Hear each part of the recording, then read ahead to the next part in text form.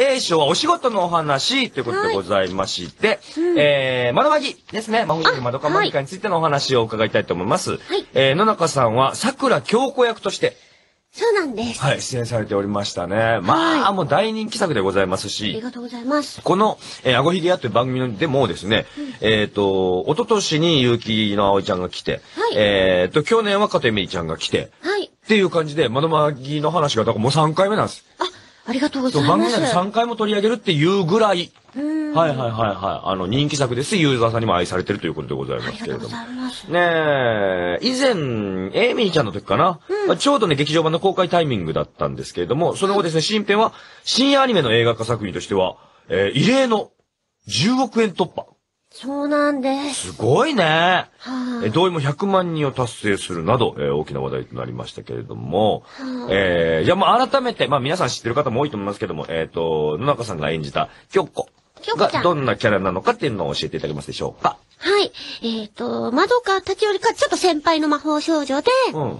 あの、不良な、昭和の不良みたいな、昭和の不良みたいなね。立ち位置のアウトローな、はいはいはいはいえっと、でも実はこう、家族のために魔法を使って、まあ、家が不幸になっちゃったみたいな暗い生い立ちもある、でもあんまり経験ない役ですよね、きっとね。そうなんで。てめえらみたいなてめえら、薄のろうとか、あんま言わなかあんったです、ね。まりその自分の役幅の中にもそんな、なかったと思うんですけど、いかがでしたこれ、決まって、まあ今更ですけども。そうですね。本当あの、マミさんと京子オーディション受けて、はマミさん受かるといいなと思ってたら、はいえまさかの京子で、あーってわでも嬉しいなと思いました。まあそうですよね。うん。反響も大きかったと思いますけど、そう改めてちょっとさ、劇場版のさ中、中身ちょっとさ、どんなお話なんか教えていただいていいですか、はい。えー今回、新編反逆の物語の方はですね、なんか突然、なんか突然、あの、学園ものから始まるんですよ。幸せなとこからのまずストーリーで、はいはいはい。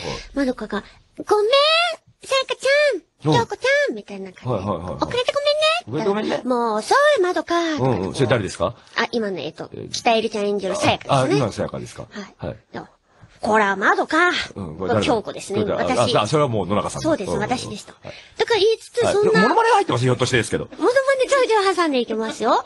え、じゃあ、北入りもう一回やってください。もう、まどかったら、ああ、なるほど、なるほど。ちょ、ちょっとわかりました、ちょっとわかりました。北入りね。さやか、はいはいで、。こんな、まあ、学園みんな学園ものでこうじゃあの、学園ものから始まっうん。て、楽しい。なんかだんだんだんだん、ちょっとおかしさに、このホムラちゃんは気づいていくわけですね。何かがおかしいと。そう、何かおかしい。私、あれこんな幸せだったっけ？みたいな。おうおうおうおう感じにだんだんだんだんなってって、はいはい。さくらさん、ちょっと、付き合ってもらってもいい？モノマネですか、それ？そうです。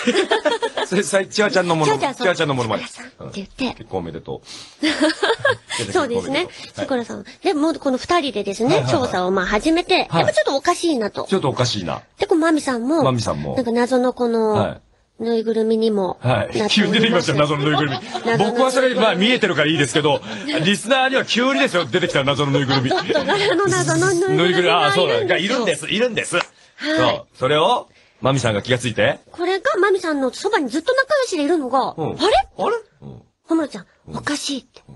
マミさんそれいつからいるの？うんってなって、おうおうおう犯人探しが始まっていくっていういくというおーストーリーなんですね、前編がね。なるほどねだんだんだんだん。おうおうおうはい。で、後半に進むにつれ、こう、は誰かがまあ、はい。